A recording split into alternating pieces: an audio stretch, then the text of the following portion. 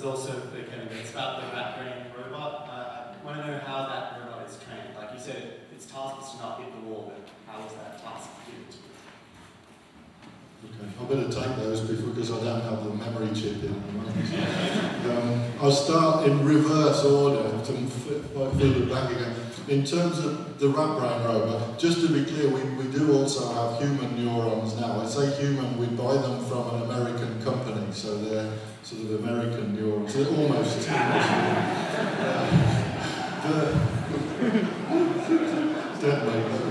um, the the training at the what we do after one or two weeks, we pull round the electrode, so literally stimulating them with a biphasic signal, which is a typical neuro-stimulating signal, positive, negative, so it doesn't build up charge. And we then monitor where we're getting a reasonably um, re reproductive response. So if we pull on this electrode, then maybe 30 to 40% of the time a, a few milliseconds later we will get a response on this other electrode. So we're looking partly initially at an innate development of the brain, how it's developed, to a certain extent. We will then connect up that route where there is some repeatability of response. If this electrode gets stimulated, some of the time it pushes a signal out here, a time later.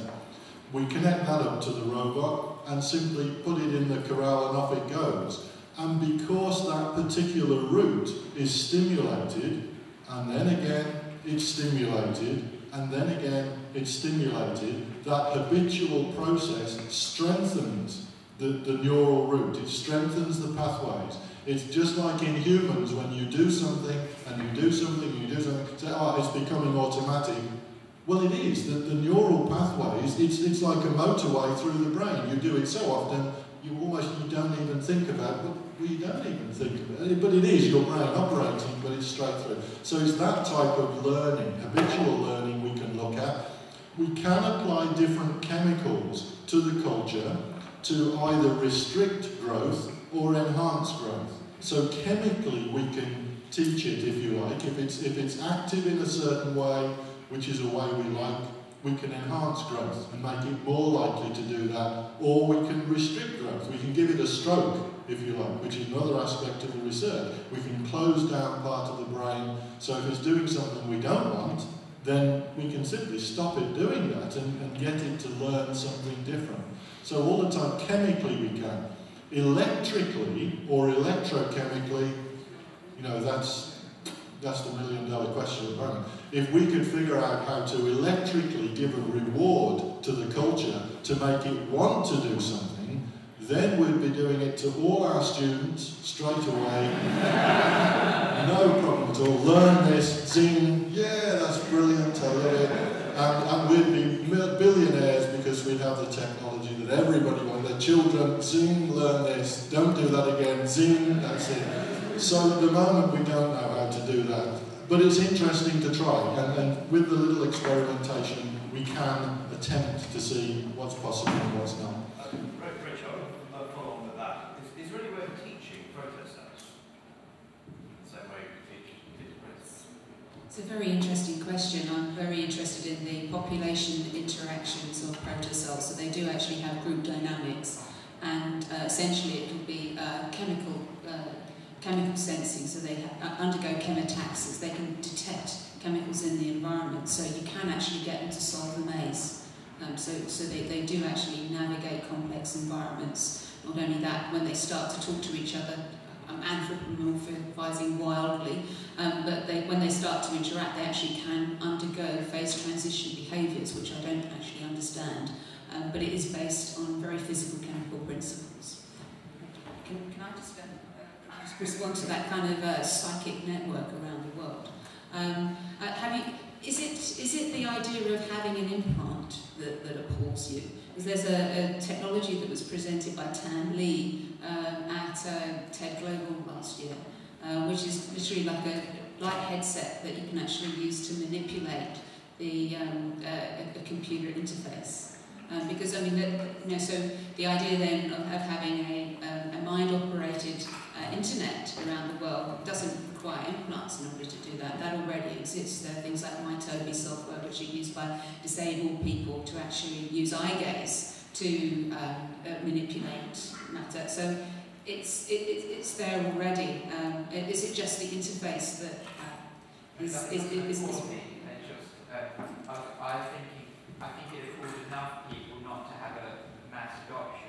But now, I, I know what you're mentioning, I saw that TED lecture, and yeah, I think that is a really good solution. But if, if I could interject, I mean, if I had suggested to somebody sitting here with me, I am going to blast lasers into your eyes 15 years ago, I mean, most people, you know, we're going to put lasers in your hey, what? You're crazy? No way. Now, yeah, oh, I want it's new technology, it's new fashion, because it works, it's successful, people suddenly, hey, my eyesight's fine, it's positive, you know, I mean, why did you have it done? It's having lasers in your eyes is scary stuff, or would have been 10 years ago. It's much more convenient not to have to bother with the glasses. And people tell me I look slightly less ugly now. I didn't comment on that. Yeah. If you imagine now the possibility of being able to communicate just by thinking, the power of that, it's nothing. The telephone was brilliant, phenomenal development, or the telegraph. The possibility of thinking and communicating, all the, the colours, images, thoughts, emotions, concepts like that, it is enormous just for a little piece of technology. That's all we're talking about here. So I, I feel the buzz and the excitement and the fact that it becomes acceptable, that, that the, the graph that you showed, the initial develop, the initial trials, maybe some of them have already happened. From that we learn, it becomes perhaps less invasive, less nasty looking when you see these 100 spikes, something maybe you don't like the idea of that.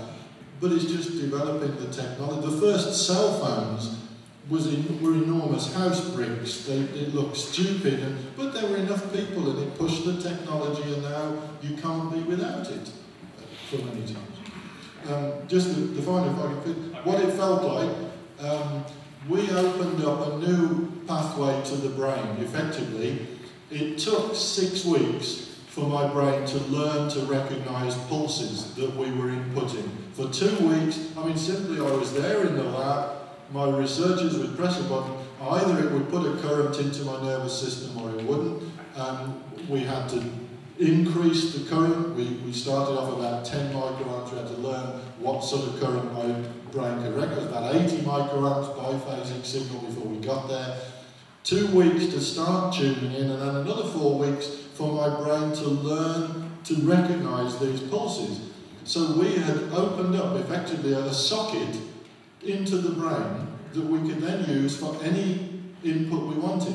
So when it was linked to my wife, a signal came in, I knew I was linked to my wife. So when my brain received a signal, that's my wife sending me a signal. It did not feel like pain. It, Like, like you're looking at me now. Your brain is receiving pulses from your eyes. You're not going, oh, or anything like that.